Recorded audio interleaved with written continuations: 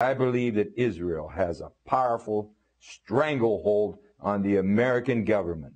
They control both members of the House, the House and the Senate. They have us involved in wars of which we have little or no interest.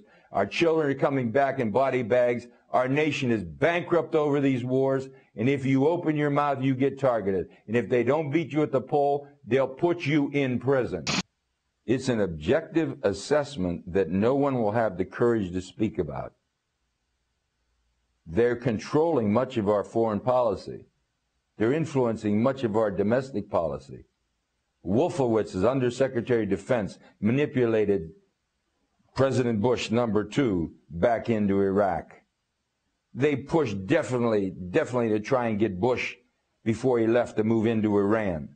We're conducting an expansionist policy of Israel, and everybody's afraid to say it. They control much of the media, they control much of the commerce of the country, and they control powerfully both bodies of the Congress.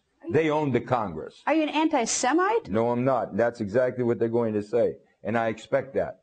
What I am is an American. You see, I think America comes first, and we have a one sided foreign policy in the East. Greta, I'm saying this.